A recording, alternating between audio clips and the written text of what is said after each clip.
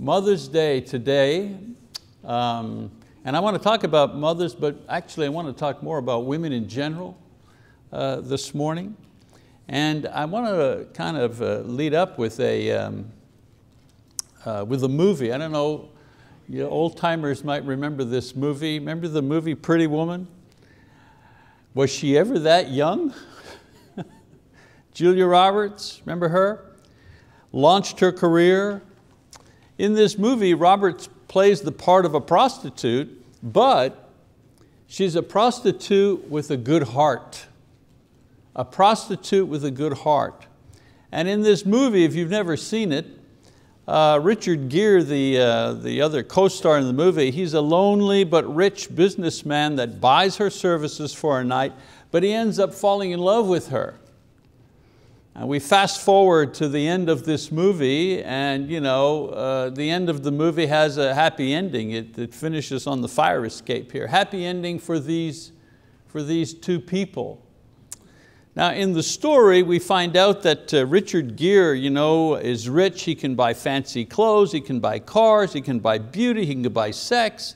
But the thing that draws him to Julia Roberts' character is that she's honest with him about himself. And not just that she's a pretty woman, and that, there, that's where the title comes in, pretty woman. She's not just a pretty woman, she has a, she has a good heart, she has an honest heart. And this is of course the hook in the movie. He loves her for her heart, not just her body.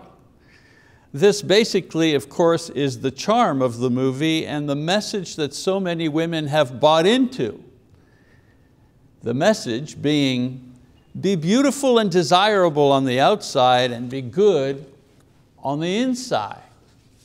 This pretty woman uh, concept and combination is promoted in the world as a guarantee to popularity and, and happiness and good self-esteem and boyfriends and boyfriends. Also sells a lot of makeup and jeans and things like that. Of course, this you know, desirable on the outside, good on the inside, ideal works in the movies and in magazines, but it's not how the real world operates. In the real world, we see that hardly anyone, especially guys, ever get past the physical outside part of a girl in order to bother discovering the true inner goodness. And you say, why is that? Well, because men uh, in the world certainly are more interested in sex than goodness for the most part. Okay, there are exceptions, but we all know that even the good guys have to struggle to get past just seeing the physical side of a woman. And most guys, again in the world, just stop right there and don't go any further. So what's a girl to do?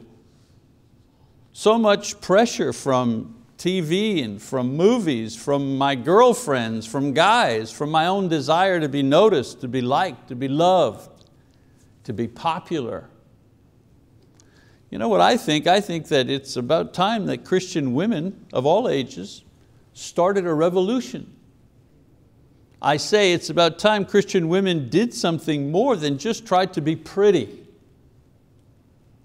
I say it's about time women became radicalized about being Christians and started a movement that created a true shift in thinking about gender and what it means to be a Christian female, a Christian woman in the 21st century. I say that the time is overdue for a seismic shift in how women of faith think and conduct themselves so that their true power can be felt in society. Now, uh, don't get me wrong, I'm, I'm, I'm not talking about the tired old neo-feminist battle for women to serve communion or preach from the pulpit or serve as elders. I'm not talking about that.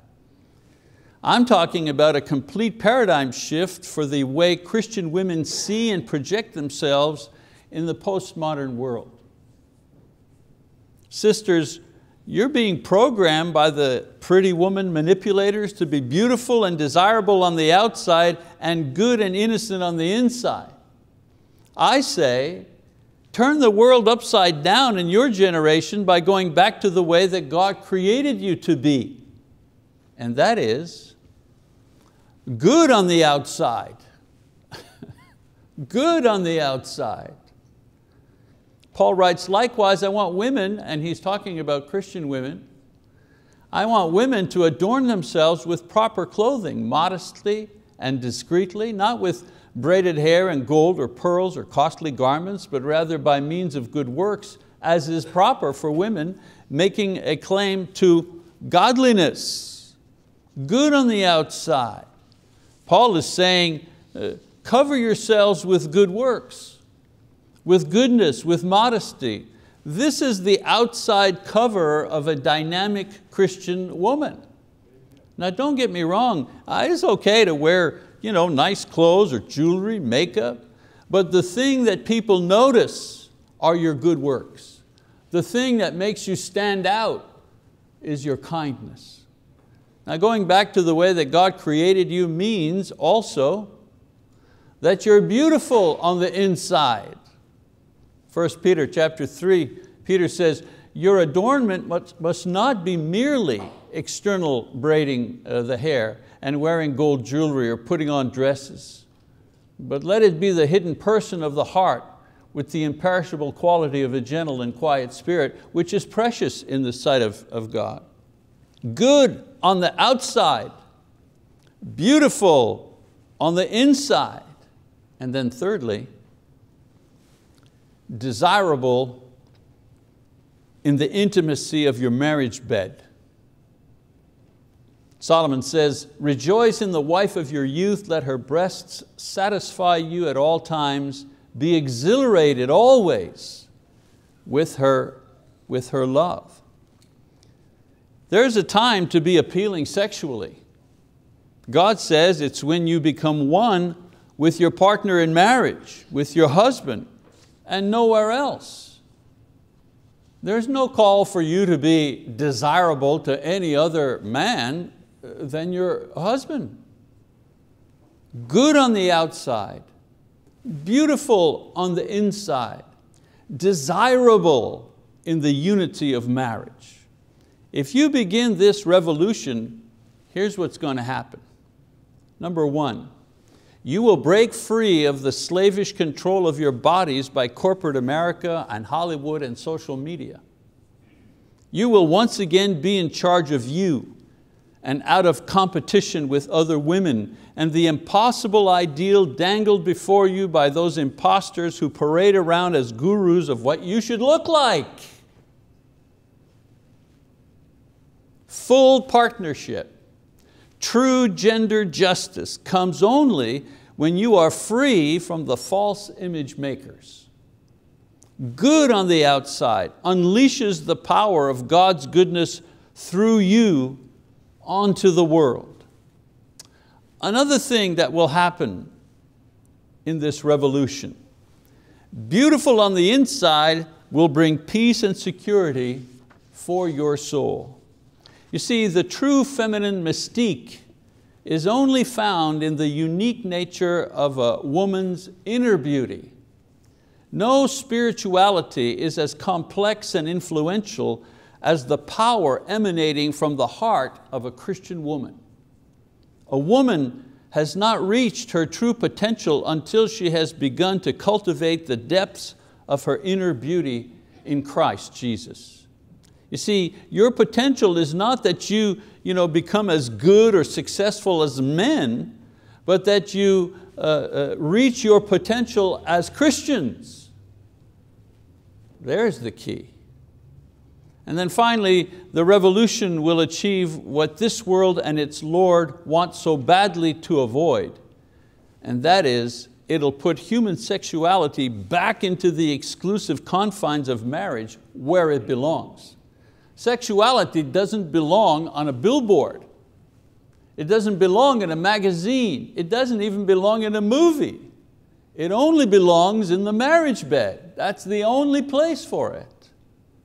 Sisters, here are some truths that come from someone who has been counseling people about sexual matters for 40 years. Some basic truths that you learn after a time.